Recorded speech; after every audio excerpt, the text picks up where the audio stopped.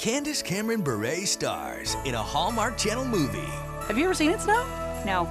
Winter Wonderlands weren't her thing. I do not do winter. Did you two get off on the wrong foot? I don't think she has a right foot. Until a little Christmas spirit melted her heart. Just never imagined there could be so much magic in Christmas. Let It Snow. Part of Christmas Keepsake Week on Hallmark Channel, the heart of TV.